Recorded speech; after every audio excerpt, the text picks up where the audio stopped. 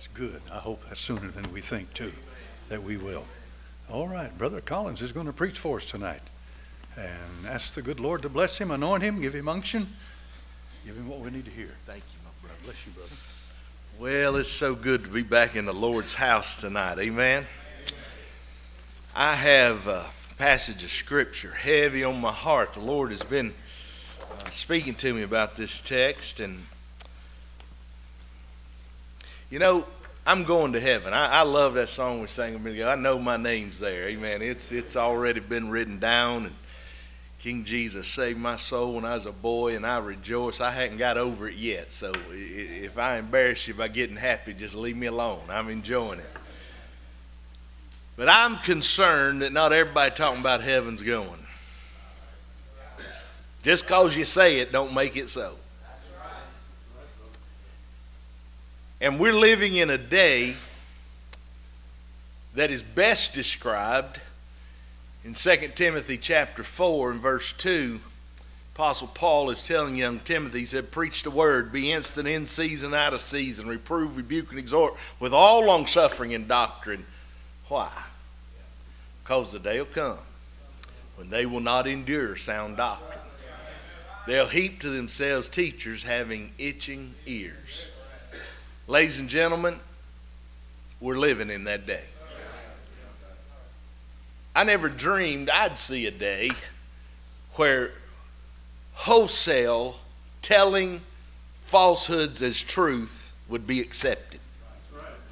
And telling lies about truth would be accepted. So we live in a day. If you don't believe me, just watch the news just a little while. Just pick a channel. You can find it. And they'll, they'll exchange right in front of you truth for lies, lies for truth. It just seems so obvious. And so tonight I want to share some scripture with you from 1 Corinthians chapter 6. Now, the Corinthian church, they, they had some issues that the Apostle Paul had to deal with.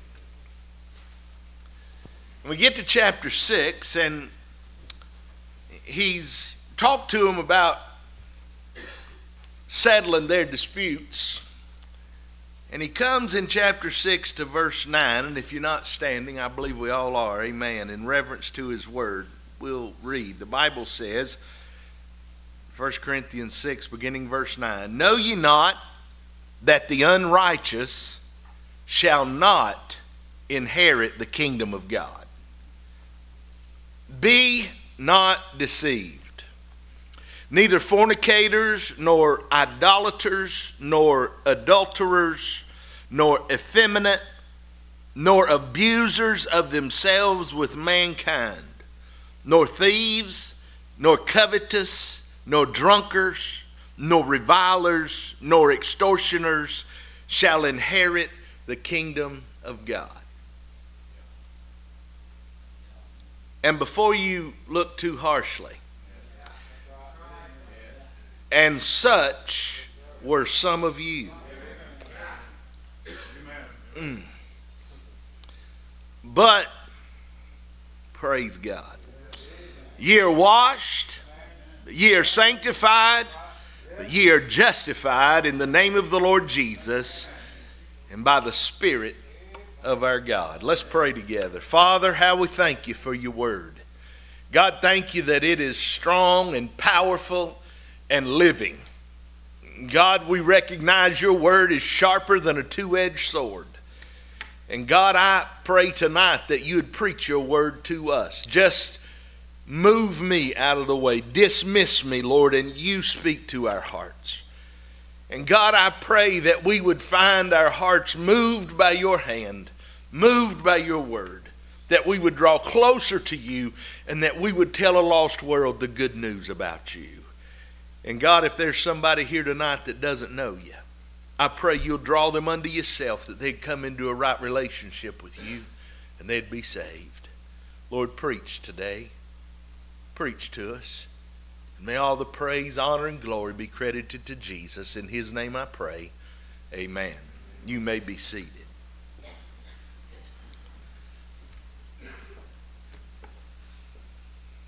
I'd like to talk to you about inheriting the kingdom of God. Because that's what these verses talk about inheriting the kingdom of God. Who's going to inherit the kingdom of God? I, I wrote this down because I, I read this um, and it just, it just, it resonated well. And so I'm going to share it with you by a certain commentator, A.C. Thiselton. And he said this Paul is not describing the qualifications required for an entrance examination. He is comparing, listen to me, the habitual actions which by definition can find no place in God's reign for the welfare of all.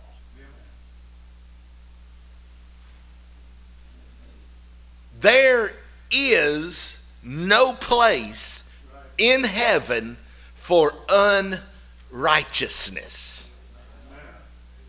God is holy.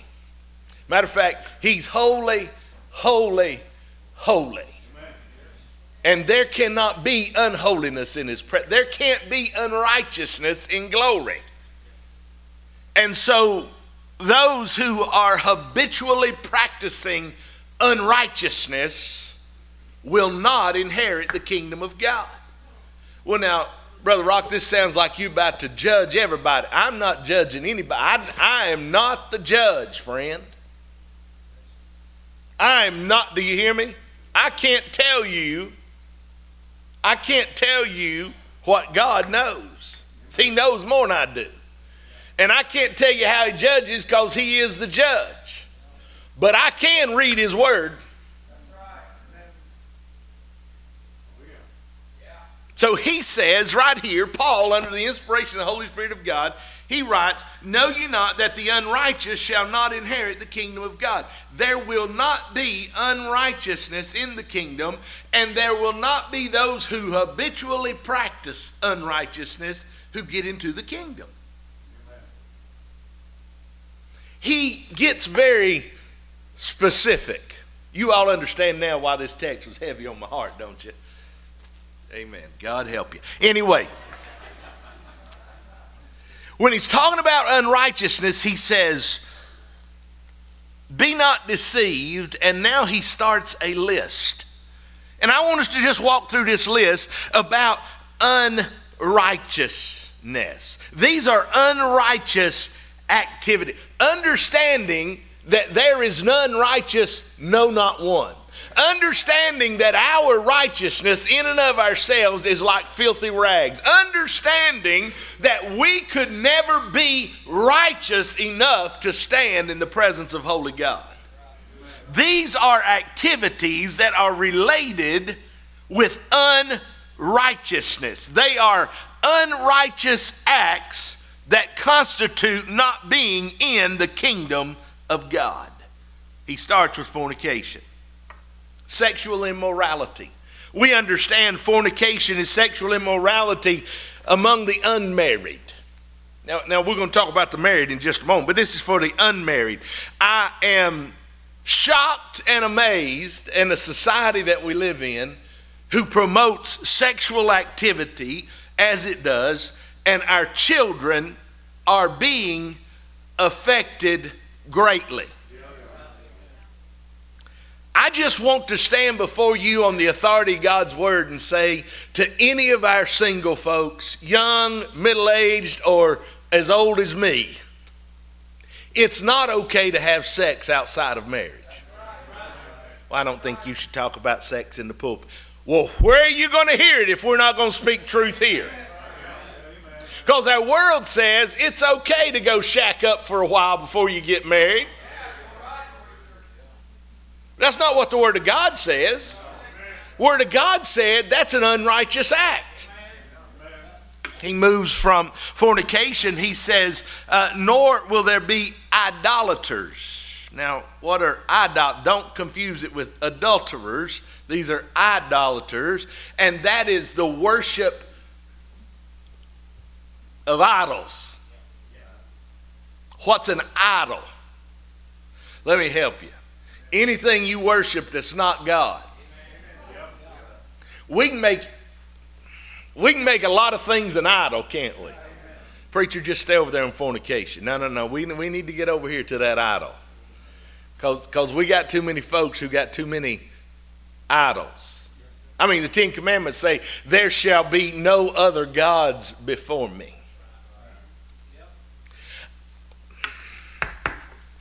You ever wonder why every seat in the house of God's not full? Because I know it's not because there's not enough people in Knox County to fill it up.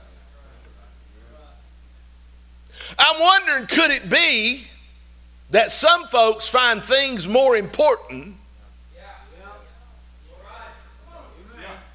more important than God. It's not kept for just men or just women, but for all people. If we're not careful, we will allow things to come into our life that will take the place of our God. And our God's a jealous God, and He doesn't share the throne of your heart with anyone. Idolaters, unrighteous acts that will not be in heaven. How about adulterers? That's extramarital sin, sexual sin. So we're not supposed to have sexual relations outside of marriage, and then once we're married, it's one man and one woman for life. Anything else we find right here is it comes to sexual relations outside the marriage bed is adultery. It's an unrighteous act. Effeminate.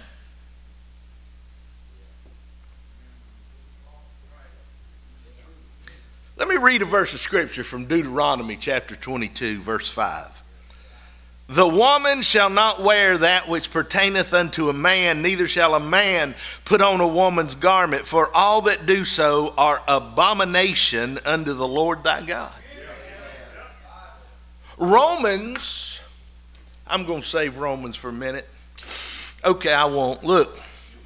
It says, nor effeminate, nor abusers of themselves with mankind. I don't want to get two, these two together too much, but I'm going to because they address issues of our day. I don't understand a man wanting to be a woman and a woman wanting to be a man. And I surely to the Lord don't understand looking at a child and saying you can choose. God already decided. In Genesis, the Bible said he created male and female. What else you need? Well, you know, today we need to understand I must not have read that in Genesis. In the beginning, he created male and female until the 21st century when we need to decide what is it in there?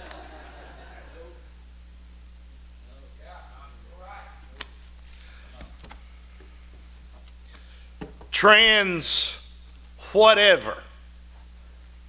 It's not of God. It is not of God. He speaks of effeminate and then he speaks of those who do harm to themselves. Now, if you if you study that a little bit, you'll find that even some translators they do not write even as King James wrote and said abusers of themselves with mankind, they just go ahead and write homosexual. Because that's what that is. That's abusers of mankind to themselves. God didn't create men for men and women for women. That's what it says in Romans chapter 1. He turned them over to a reprobate mind. Why? Because man exchanged his natural affections for a woman to man. Ladies and gentlemen, listen, I, I am not angry with homosexual folk. I'm just telling you, it's not godly. It's not righteous. It's not of God. It's not acceptable by God, and it never will be. According to the Word of God, it is an abomination. You want to know where we are? Go back to Romans 1. What did he do? He turned them over to a reprobate mind. And I've studied this. What does it mean to be turned over to a reprobate mind? And the best I can find is to be turned over to a reprobate mind means this you can no longer differentiate between right and wrong. That's why our society has exchanged truth for lies and lies for truth because God has allowed an abomination to fall upon them because they can no longer. And I'm not just talking about those who are practicing homosexuals. Anybody who affirms that is saying that's not truth what God said. I can't find anywhere that God said my word changes. I can't find anywhere where the Bible tells me that there will come a day when, under His blessing, you can exchange what He said for what you think. I haven't found that anywhere. I'll tell you what I have found. I have found His word is settled in heaven. I have found that the grass withers and the flower fades, but His word will stand forever. It is settled, my friend. What God said, that's what He meant. Well, I don't like that.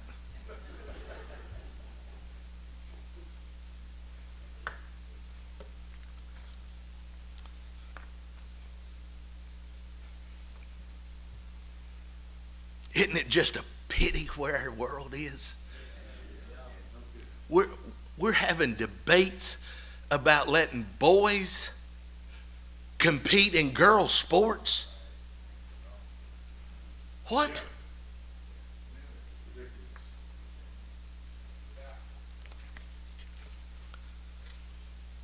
The Bible said he'll turn them over to a reprobate mind. And they can no longer differentiate between right and wrong. Hey, I know you've heard it before, but I'll say it again. God did not create Adam and Steve. It was Adam and Eve. Well, you know, God had to evolve. No, he didn't. He doesn't evolve. He is. I said he is. He always has been, and he always will be. Before there was anything, he was. And when there's nothing else, he will be. Amen. Is anybody with me yet? The unrighteous shall not inherit the kingdom of God. He goes on. He goes on and he says, nor thieves. wait a minute. Wait a minute. Wait a minute. Wait a minute. Wait a minute. Surely he didn't put that in there with those sexual sins. I mean, just steal a little something, little five finger discount. I was pastor in Louisiana a number of years ago. This young boy, he was a foster child in one of the homes in our church, and he came out and uh, he called me father. I knew he hadn't been raised Baptist. And I said, Son, you don't have to call me father. But he came out again another day and he said, Father. I said, Yes. He said, Forgive me, for I have sinned. I was just feeling really uncomfortable with that. But I, I, said, son, what did you do? And he said, well, you know, I did a little five finger discount. So I picked some stuff up that wasn't mine. You know what God calls that? Unrighteousness. That will not inherit the kingdom of God. Now, I know what you're thinking. Well, now we don't steal. Look at us. We don't steal. But should we get to Malachi chapter 3, the prophet said, Will a man rob God? And the people say, oh, no, no, no. But yet, you are in your tithe and offering. We may need to just camp here for just a minute. All right, we won't stay long, just for a minute. All right. But a tithe is one dime out of every dollar you earn, it's a tenth. I always got tickled, Pastor, when folks would come and sit down with me after I preached on tithing. They'd say, Pastor, I'm just struggling with this. I, you know, we're tithing about 6%.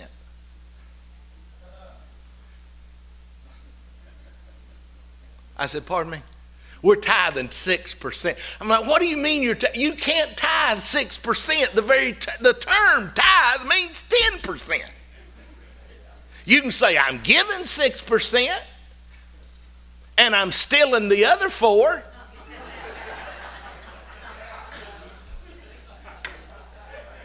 Amen. Uh, can, can, I be honest with you? I, am just going to be very transparent. I've had people sit in my office before as their pastor, and they'd say, Pastor, we're doing everything we can. We can't make finances meet, and I, we just cannot bring 10% to the church. And I look at them, and I'm tempted. to say, well, it'll be okay. But God would never let those words come out of my mouth. And I would say, I understand. And I, I, I get it. But won't you just try? Because that's what he said to do. Try me and see. It's the only place in text he tells us to test him. Test me and see.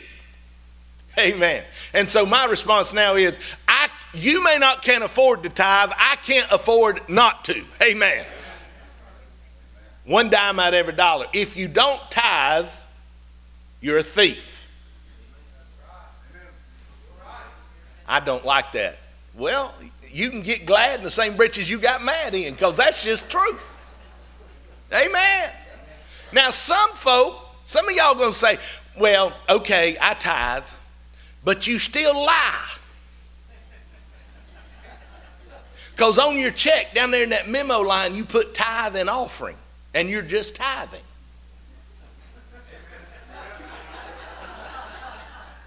You lied. Because you can't give an offering until you give a tithe. The tithe is a requirement. The offering is your gift to God. Amen. Amen. My daddy taught me how to tithe. I had my first job working at a grocery store. A man in our church owned the grocery store. My daddy got me the job. I'm a teenager. I go in there, I'm bagging groceries, which is an art that has fallen by the wayside. I got my first check. My daddy came pick me up. I couldn't drive. He picked me up. I said, Whoo, Daddy, I got paid. He said, That's great, son. I'm so proud. He said, Now you know where 10% of that goes. See, in my pocket. I know exactly where that goes. He said, No, 10% of that goes in the offering plate. Oh? he said, Now you don't have to. If you don't want to, you don't have to. But I got you the job, and I'll get you out of the job if you don't believe I can find 10% to put in the plate on Sunday. Amen. And then he said, Now, you know, you got to give an offering on top of that. To which I responded, How much is that? to which he responded, Well, that's based on how much you love the Lord.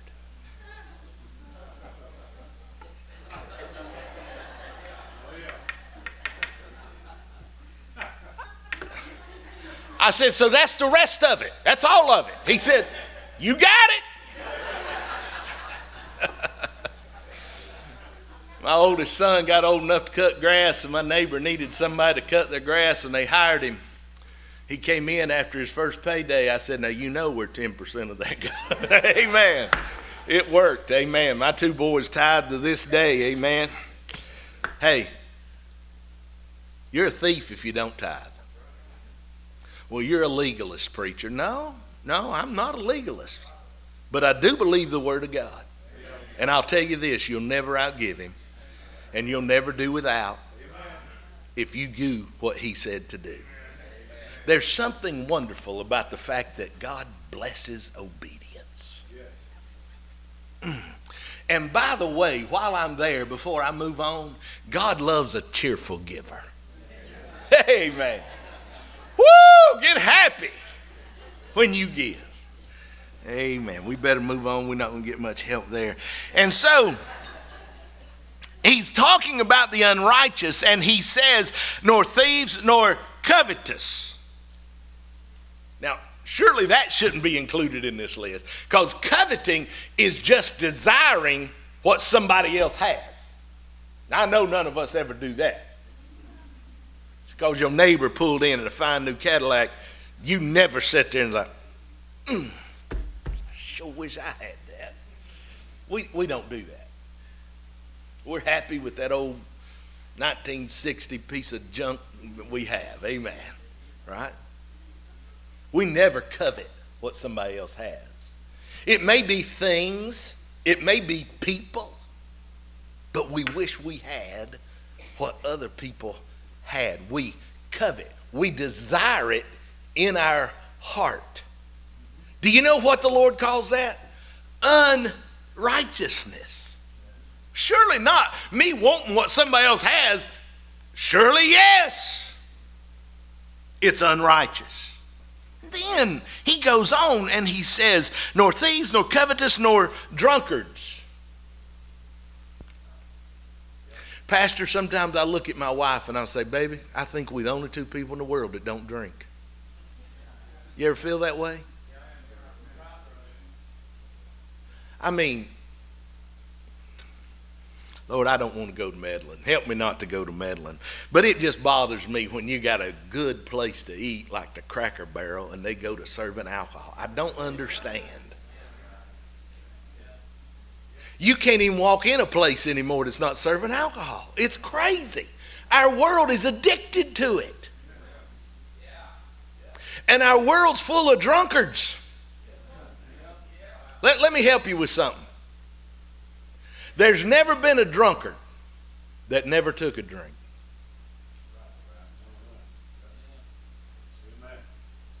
I say what I'm about to say with all glory to God. I've never had a drink.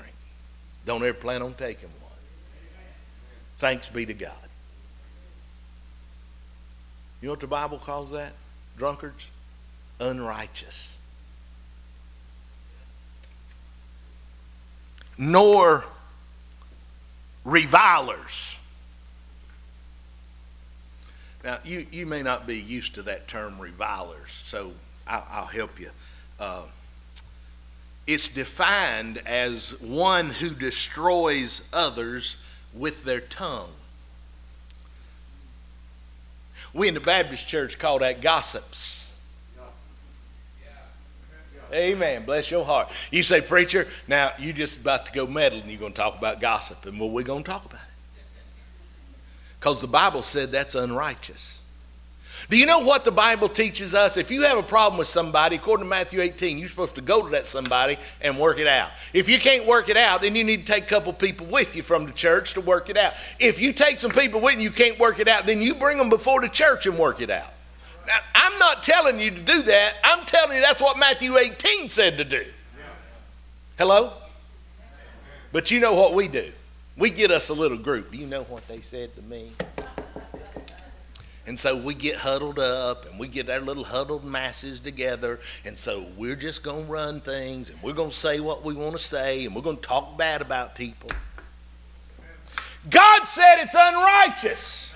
He said there'll be none of that in heaven. Watch who you're talking about.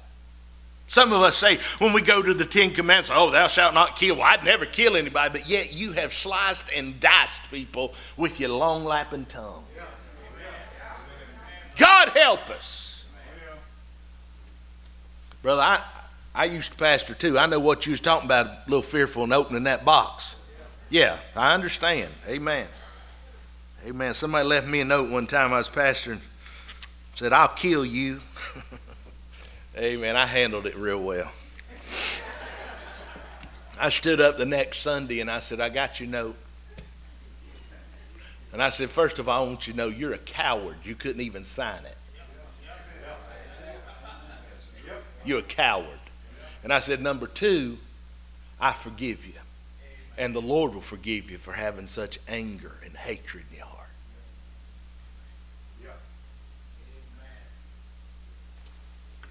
The Bible said revilers are unrighteous. They'll not have a place. And then he goes, then he goes on and he says, nor shall inherit the kingdom of God. The word that was used, I'm sorry, is extortioners, but it means revilers or those who are speaking untruths. Shall none of these shall inherit the kingdom of God. Extortioner speaks about swindlers.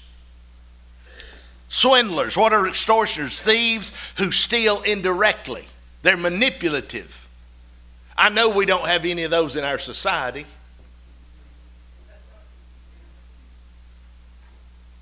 The Bible says those are acts of unrighteousness. Now, ladies and gentlemen, I don't believe this is an exhaustive list, but I do think you get the idea. Amen. Do you? You with me? Are you with me that God calls some things wrong do you understand that in God's economy there is righteousness and there is unrighteousness, and He draws that line sharply? There, there's no gray area. Well, I'm kind of in between. No, no, no, you're not. You're one side or the other. And when we talk about inheriting the kingdom of God, I don't know any plainer way to read it than to read it like this Be not deceived. Neither fornicators, nor adulterers, nor adulterers, nor effeminate, nor abusers of themselves with mankind, nor thieves, nor covetous, nor drunkards, nor revilers, nor extortioners shall inherit the kingdom of God.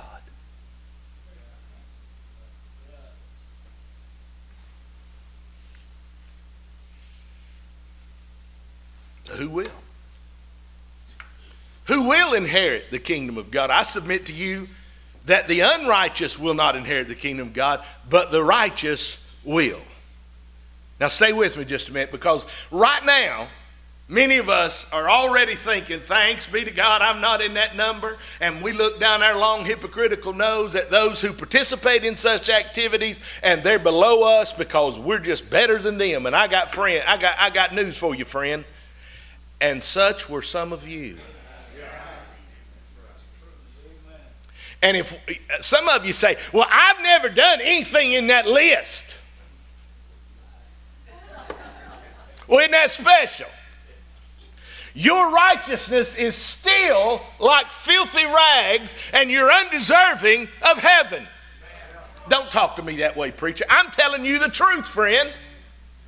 I'm telling you the truth. Our world will say, well, all good people go to heaven. All good people don't go to heaven. Heaven's not for good people, heaven's for saved people. And hell is not for bad people, hell is for the unrighteous.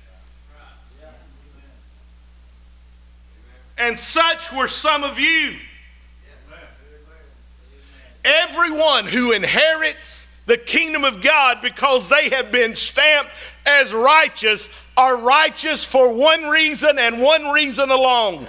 They said, Lord Jesus, I'm a sinner and I need a Savior, and I believe Jesus died for my sin. I believe He rose from the dead. Come into my heart, forgive me my sin, be Lord of my life. And on that day, God Himself took and made a deposit of righteousness into your account that was bankrupt, and He made you righteous. And if you're righteous because He made you righteous, that's the only way you're ever going to be righteous. Well, I think I'm pretty good. You're not. Well, I'm not as bad as that list. You are. I can take you to another list in the text, and right in the middle of it, saying some of these very same things, he includes in there being disobedient to parents. Hello? God takes right and wrong serious. And he's serious about living righteously. And the only way to be righteous in the eyes of holy God is to have his righteousness imparted to us. Praise be to God. It, it don't make sense. It, it ought to be you got to do something. You do. You've got to believe him. Amen. He did the work. And he and he alone is righteous. There is none righteous, no, not one. Well, how could we ever be pronounced righteous? I'm glad you asked because he says here, and such were some of you, but ye are washed. Praise be to God. I'm glad to tell you that though my righteousness is like filthy rags, and though I'm dirty and filthy and undeserving to be in the presence of holy God, I'm glad one day he washed me. I said, He washed me. The Bible said in Isaiah 1 and 18, Come now, let us reason together, says the Lord. Though your sins are like scarlet, they shall be as white as snow. Though they are red like crimson, they shall become like wool. I'm glad I serve a God who can wash the dirtiest of sinners. Titus chapter 3 and verse 5 says, Not by works of righteousness which we have done, but according to his mercy according to his mercy, he saved us by the washing of regeneration and renewing of the Holy Ghost. Amen. I'm glad. He can wash us of all of our sin. Hebrews 9:14, how much more shall the blood of Christ, who through the eternal Spirit offered himself without spot to God, purge your conscience from dead works to serve the living God? Ladies and gentlemen, I'm not what I used to be because I've been washed in the blood of the Lamb. You're not what you used to be because you've been washed in the blood of the Lamb. Amen.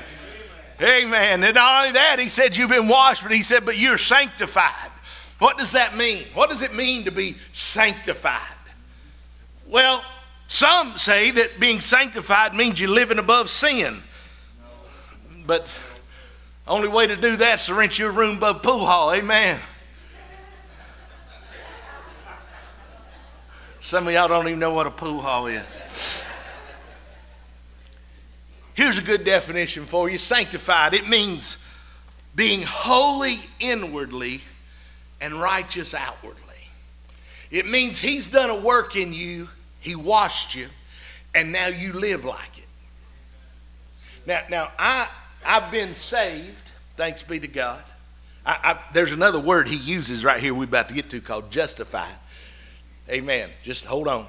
And after I was justified, I began the process of sanctification. Now, he's still working on me. Amen. I said, He's still working on me. You, you know what the conclusion of sanctification is? Glorification. Do you know when that happens? When we see Him. Amen. So, some of you who walk around here and think you already sanctified, mm, bless your heart. Pride. Oh, Lord. And so, We've been sanctified. We're in that process of Him working on us inwardly to have holy lives that we will express it outwardly in righteous living. Uh, 2 Corinthians 5 17, therefore, if anyone's in Christ, He's a new creature. He's a new creation, rather. The old has passed away and the old and the new has come. 1 Corinthians 1 2 says, To the church of God that is in Corinth, to those sanctified in Christ Jesus, called to, to be saints together with all those who in every place call upon the name of the Lord Jesus Christ, both their Lord and ours. The Apostle Paul is telling us that sanctification comes as a work of Almighty Almighty God in our life. If you are in process of being sanctified, it's because you've been washed and you were washed, listen, and when you were washed, you were pronounced justified. That's what it says right here. He said, You've been washed, you're sanctified, and you're justified. What, what does it mean to be justified? Well, that's our new standing with God. I said, That's our new standing with God. See, before, before Jesus, when he looked at me, I was a sinner. But after Jesus, when the Father looks at me, he sees me through Jesus. Is anybody here? This is my new standing. I've been, it doesn't mean I'm perfect. It doesn't mean I didn't sin. It just means, and such were some of you. Lord help us. Galatians 2:16, yet we know that a person is not justified by works of the law, but through faith in Jesus Christ. Did anybody hear that? Man is not justified by works of the law. We have folks today who believe that if you don't keep the law of the Old Testament, you're not righteous. I got news for you. There's not enough works in the Old Testament, New Testament, and planet Earth for you to work your way to righteousness. We, mm, glory to God, we know we're not justified by works of law, but through faith in Jesus Christ. How does that happen? How does that happen? God extends to us, for by grace, He extends an invitation, and by faith, we receive that invitation. Boy, that's good. And as a result, I'm justified. He said, We have believed in Christ Jesus in order to be justified by faith in Christ and not by works of the law, because by works of the law, no one will be justified. It's not mm, glory, it's not by our works, but it's by His mercy, it's by His grace, it's by His blood that He shed on the cross and has imparted to us His righteousness. Romans chapter 4 and verse 4 and 5 Now to the one who works, his wages are not counted as a gift, but as his due. And to the one who does not work, but believes in Him who justifies the ungodly, his faith is counted as righteousness. Amen. Let me, let me tell you what I heard one say when trying to define justification, and he said it was just as if I never sinned. Amen. Now, how can that be if such were some of you? Who's Paul talking to? He's talking to the church at Corinth. These are believers. These are folks who are in the house of God. He's writing this letter to try to help and instruct them. He just said, and such were some of you. But then he said, You've been washed, you've been sanctified, you've been justified. What does that mean? It doesn't mean we never sinned, it means we sinned. But Jesus, glory, Jesus made us as though we hadn't sinned because he shed his blood for our sin. Mm. And such was I. See, I hadn't always been saved. I hadn't always been a preacher of the gospel. I, I hadn't always been called Dr. Collins. But there was a time, as the songwriter said, I was sinking deep in sin, far from the peaceful shore, very deeply stained within, sinking to rise no more. But the master of the sea heard my despairing cry, and from the waters lifted me. Now safe am I. Love lifted me. Love lifted me. I'm telling you, love lift. I'm not what I used to be because of Jesus the Christ. And now I want to sing with all my heart. My hope is built on nothing less but Jesus' blood and righteousness. I dare not trust the sweetest frame, but wholly lean on Jesus' name. I got news for you today. My hope is built on Jesus the Christ. I'm thankful that He didn't leave me in my own righteousness, but He washed me in His blood. He sanctified me with His word. He justified me through faith in Him. And there's no need to even question that. That's truth. But here's the question that begs an answer Are you going to inherit the kingdom of God?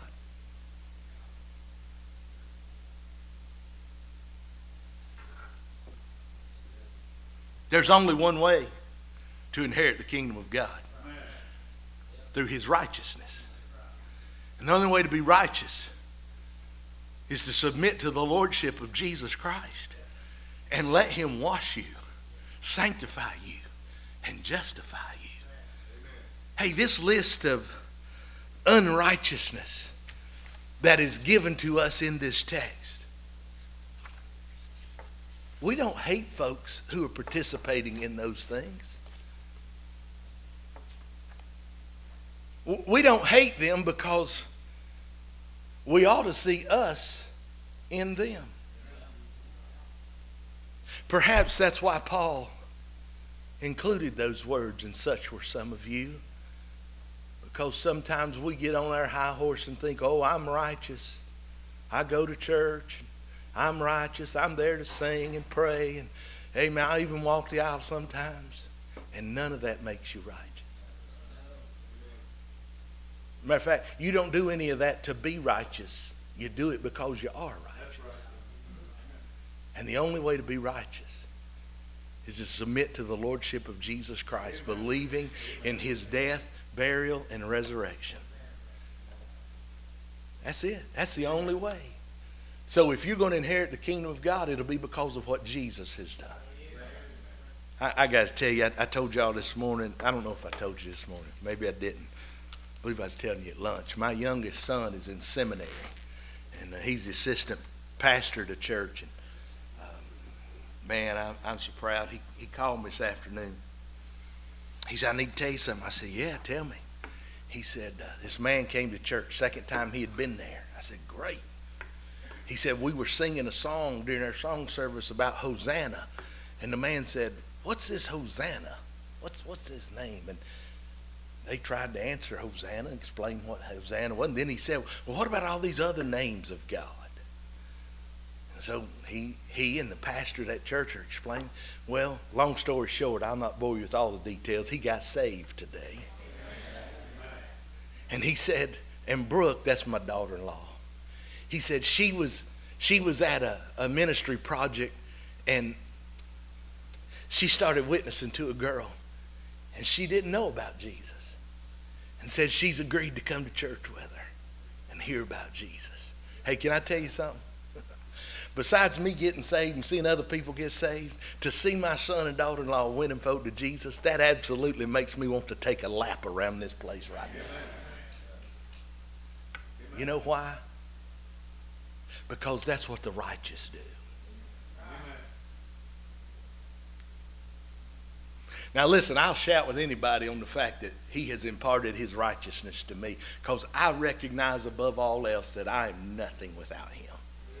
I am, I am, I am sure for hell without Jesus. But I'm sure for heaven with him. Amen. I'm going. Amen. I already made my arrangements. Whoa, I'm glad I'm saved. And because he saved me, I'm convinced he'll save anybody. Who are you telling? So here it is. Here's your invitation tonight. Number one, if you're not righteous, tonight's the night to get righteous. How do you do that? You come by faith in Jesus Christ, believing in his death, burial, and resurrection, asking him to be Lord of your life, submitting yourself to him, making him your Lord, repenting of your sin, saying, I'm turning from my sin, I'm turning to you, the Savior. Today's your day. If you are righteous, Number one, you ought to have a little shout in your heart. You ought to have a little joy in your life. You, people ought to look at you and see something different about you. And when they do, you ought to be ready to give a testimony of what Jesus has done for you. So maybe tonight you need to come give your heart to Jesus. The altar's open. Somebody may need to come and just get on your knees. Say, I just need to spend a minute thanking him that I such was I. just, just say it like it says in the book. Such were some of you, and know that you're in the you. Amen. And some of you may need to come and pray for somebody that's lost tonight. Maybe your heart's heavy for somebody that's going to hell. If we'd be honest, probably nearly every one of us have somebody in our own families that are lost. Folks, Jesus is the only answer. I, I, I don't know if y'all heard we have an election coming.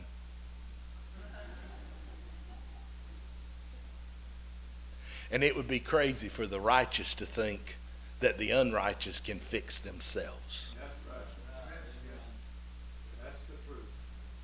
Only our God. So I don't know what you may need. I, I don't know exactly why the Lord would have me preach that message tonight, but I'm telling you, He told me to. And so I leave it with you. The righteous shall inherit the kingdom of God. Amen. Father, thank you for meeting with us. And God, thank you for imparting your righteousness to me. For Lord God, I recognize that without you, I would surely perish. Without you, I am nothing.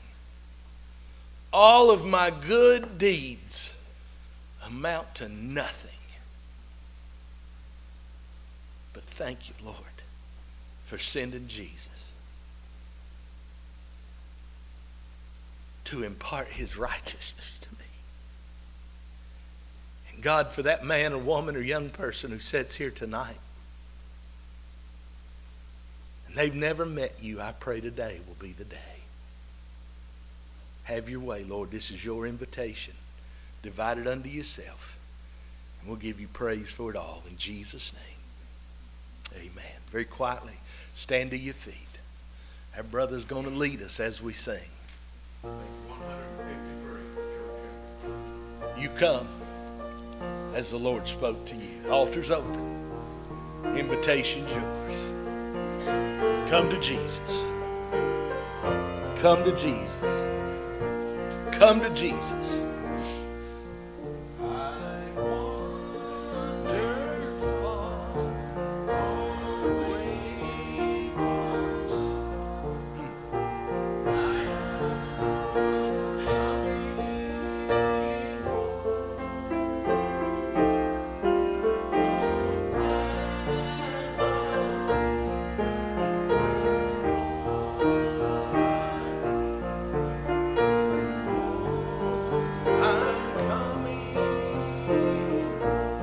all, but not friend. Come home.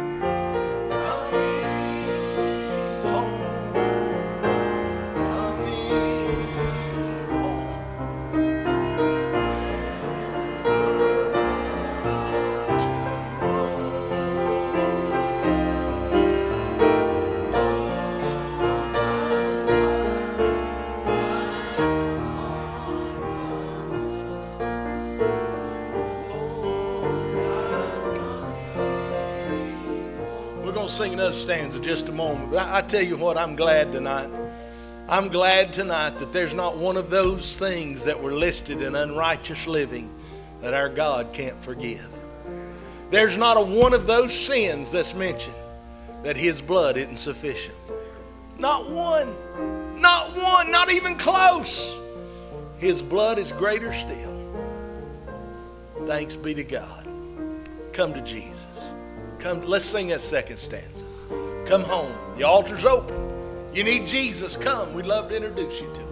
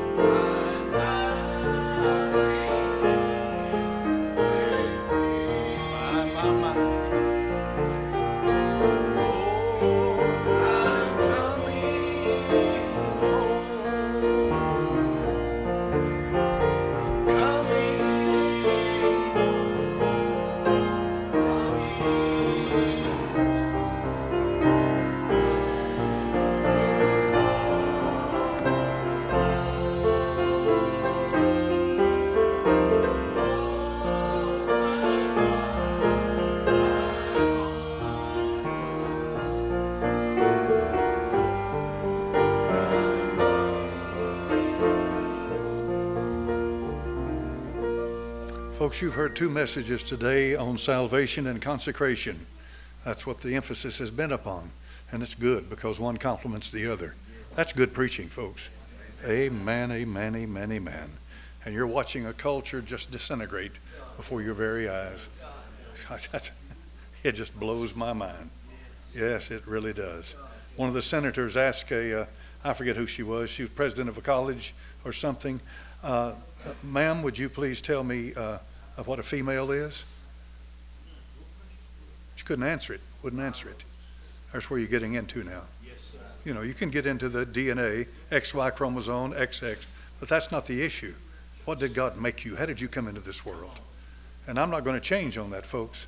They can say what they please. I went to the doctor yesterday or day before and had to fill out, you know, you go in there and you have to fill out all this information and uh, you've already given it to them a dozen times. But here we are again. And then it got down to the, sec- the section about sex, sexual orientation, non-binary. Uh, uh, how do you what, what do you what do you claim to be? What do you call yourself? And one question after another after another. And I thought to myself, this is insanity. This is pure insanity for them to take that and stick it into your hands. This kind of garbage. Amen. This is, folks. Let me remind you once again. They may be they may be presidents of universities. They may even be presidents. They may be your doctor, your lawyer. But if they don't know the difference between a male and a female, they are insane. That's insanity.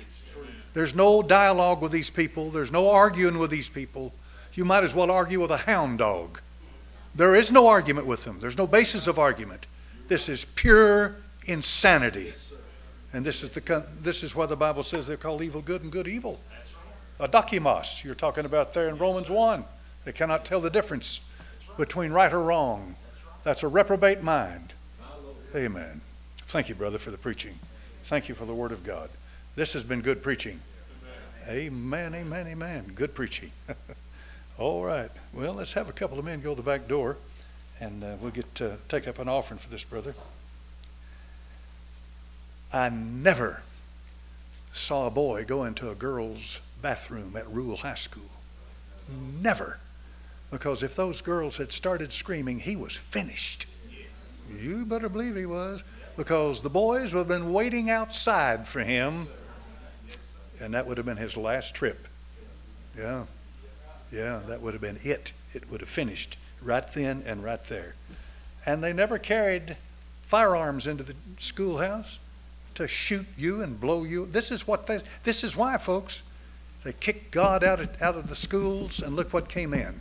All right, I'll shut up. Good night. I'm up here and preaching. He's done got me all stirred up here tonight. He got me all fired up. All right. Thank you, brother. God bless you. Good, good to have you. How would you like to have him back in here again? Amen. Yes, sir.